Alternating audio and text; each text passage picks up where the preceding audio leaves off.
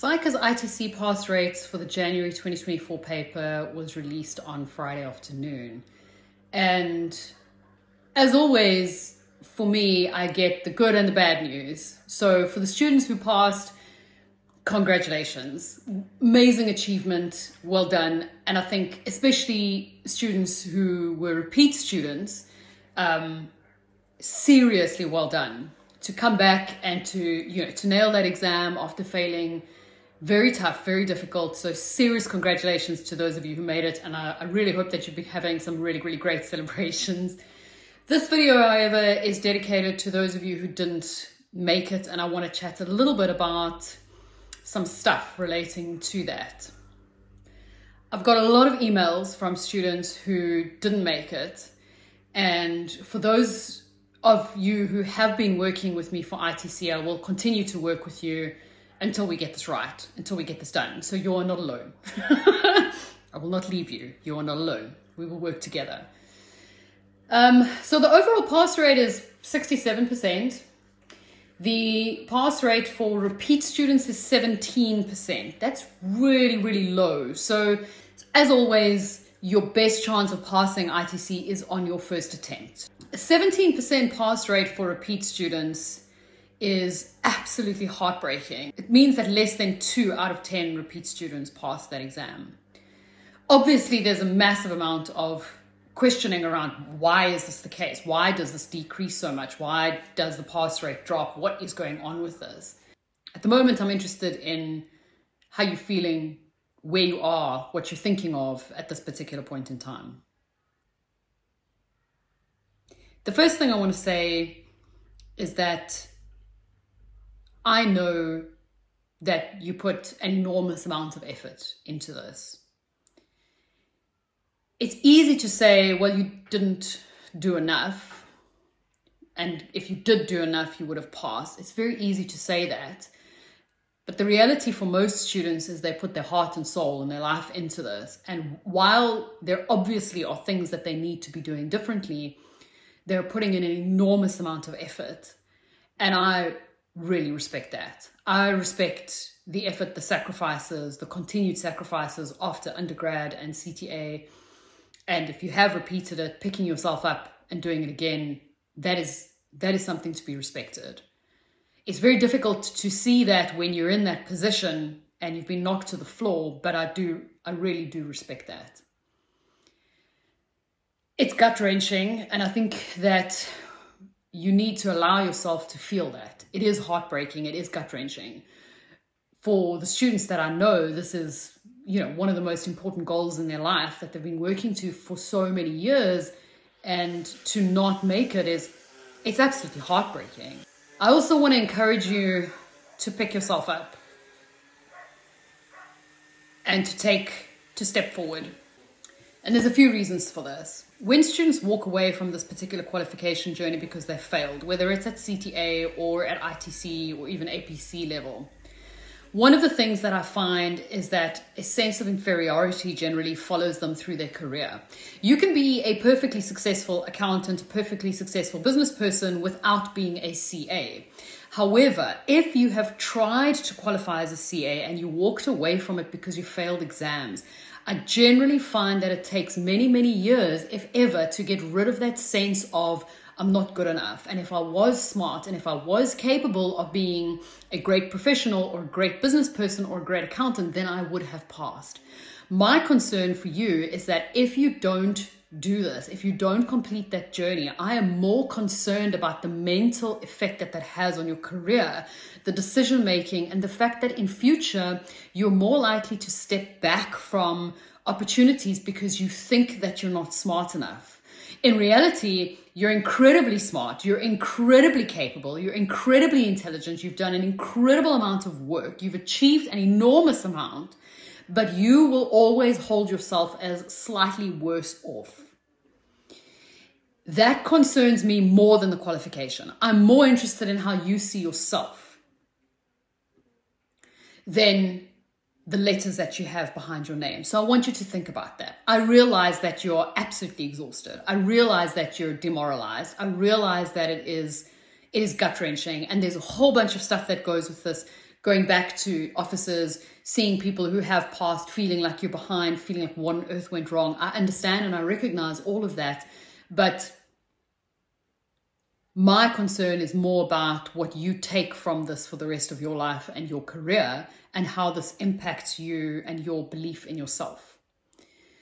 I also want to say that this exam is not about intelligence. And that is so difficult to understand when you're there. Um, you're absolutely smart enough, which has been proven by the fact that you have passed CTA. But this is about different skills. This is about something slightly different. And this is where it gets really tricky. I'm terrified that students interpret their failure as an indication of intelligence when it isn't.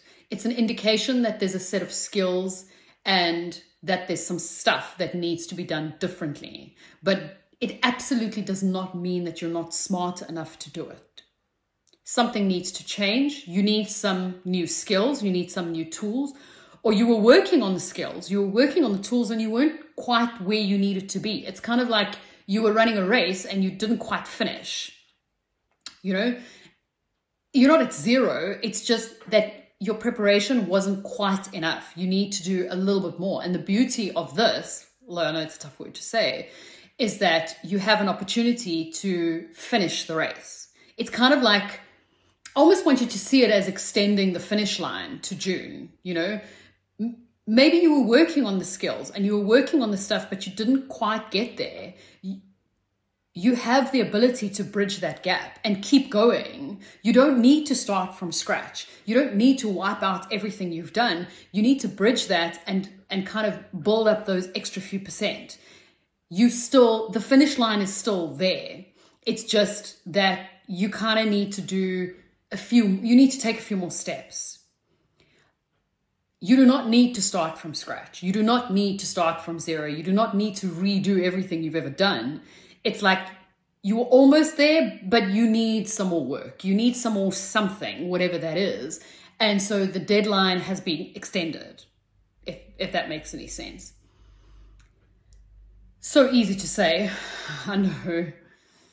Um, when you write exams like this, one of the things I find is that students are so focused on this exam, obviously, that they're not really looking at the bigger picture. When students are in CTA, I always encourage them to look at ITC and to talk about what's going on in ITC because your CTA, your PGDA is preparing you for the ITC exam. So you need to know what's coming. You need to know what you're working towards because that's what you're preparing for. That's what that's what your eye is on. It's very easy to get so obsessed with this particular exam that you're not thinking about what's coming next. And it's really important because each of these levels are supposed to prepare you and build you up for the next one. Now between itc and apc there are some massively fundamental differences. Those exams are massively significantly different and APC has removed a lot of the stuff that you feel gets in the way of ITC, right? So the fact that you get the case study in advance, the fact that you have more time, the fact that you can take information, you, you have the ability to work on all the stuff you know, you know, the topics and the industry and, and, and the, and the standards, etc., that are relevant for, for the information or for the exam before you get into the exam. So the types of things that you feel are big challenges in ITC. I don't know what they're going to ask me. I don't know what to prepare. I don't know what industry it is. You know, I don't, I don't know what stuff, what topics I'm looking at. That's been removed, and yet the pass rate is not good. That begs the question how are people who have passed ITC and have had the stuff that they felt was the biggest challenge in ITC? They've had this removed and yet they're still failing. What is going on? Now, I don't want to get into a discussion technically about why this is or what's going on there. My point is just I want you to take a step back and go, I have got to be aware of what's coming next. I've got to be aware that whatever's happening in that exam is impacting what's happening in this exam. Because this exam is intended to prepare you for that exam.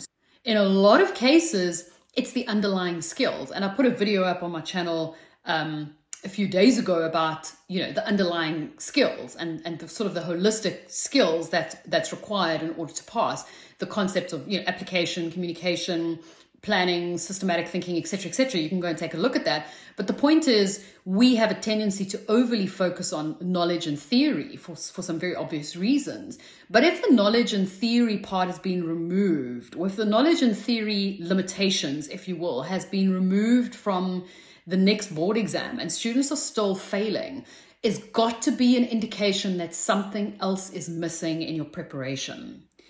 And this is what I want you to look at and think about. The reason that I'm saying this now is because I want you to shift away from the feeling of, I'm not smart enough, I can't do this, um, I don't know, you know, I, I, clearly I'm just not intelligent enough for this. And I want you to realize that something different is going on. I don't want you looking at this as though you're not smart enough to do this. It's very difficult to do. I need you to look at this and say, I need new tools. I need something else. I need to take a step back and ask myself what is missing. Not let me go back and study financial instruments, but what is going on? What is the bigger picture of the profession? What is the bigger picture of the qualification journey? And what is happening in the next exam? And is that filtering through? Is that what's causing the, the challenge here? It makes perfect sense. If the next exam has a high failure rate, then this exam, and this exam is intended to prepare them for that. This exam will change and adjust to make sure that the people who pass this exam will be better prepared for the next exam. It makes sense, right? So obviously, when whatever's happening in this exam, changes that you're seeing in this exam are because of the next exam. If students are not passing that next exam, obviously the thing is going to be well what do we need to change in this exam in order to ensure that someone who comes out of this exam is better prepared for that exam? So whatever's causing the whatever's causing the damage there is starting to filter in and is causing damage here. I want you to be asking okay perhaps i need some new tools. I do not want you sitting and thinking that you're not smart enough for this picking yourself up after something like this is gut wrenching. In 10 years' time, you will not feel the pain, but you will feel the consequence of your decision. The difficulty is in the moment, the emotions, the exhaustion, the mental energy, the disappointment, all these things in the moment is going to impact your decision or can impact your decision. In 10 years' time, you won't feel the exhaustion. You won't feel all of these emotions. You will have healed from them, but you will live with the consequences of whatever decision you make. If you walk away from this because it's too hard to pick yourself up, it is completely understandable, completely understandable, but you will live with the consequences in 10 years' time where you are going to say, if only I'd have tried, if only I had have done something different, if only I had have, I could have stuck it out. You are stronger than you think. Look at what you've already accomplished. You are stronger than you think. Everybody that I've worked with who has achieved their goal after falling over, picking themselves up, failing. I know people who have redone CTA and then gone back to ITC and passed. I have never come across someone who has said to me, you know what, Yvonne, it actually hasn't been worth it. It wasn't worth it.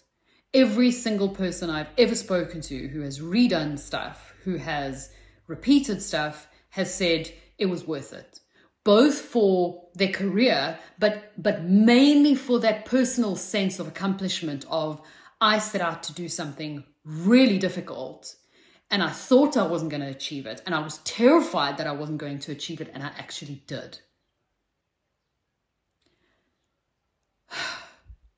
As tough as it is, I want you to try and separate your emotions from the decisions that you're going to make in the next few weeks. I respect your emotions. I respect how you feel. I understand how you feel. I validate how you feel. But I want you to have the best consequences, which means you need to be making decisions. You need to be making decisions based on what's best for your future and best for your future self, not based on how you're feeling at the moment.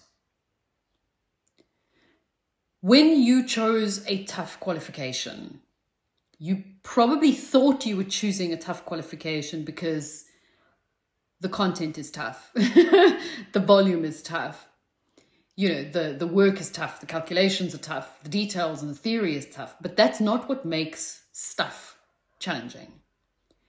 What makes journeys challenging is the walls that we see in front of us. every day you get up and you face that wall and you say, I don't know if I can get past this wall.